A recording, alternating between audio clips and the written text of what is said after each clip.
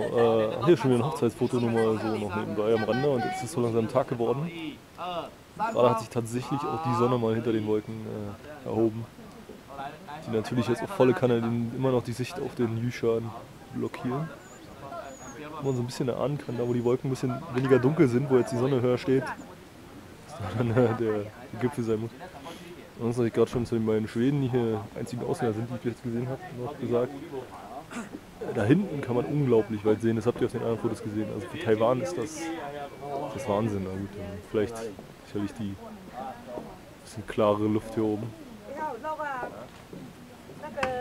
Wahnsinnige Aussicht hier immer noch. Da sieht man aber hier drüben schon wieder die, die Wolken aufziehen. Auf der anderen Seite sieht man eine klasse Felswände wieder.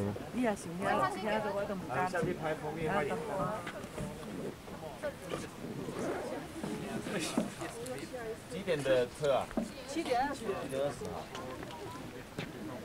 哦，那哎！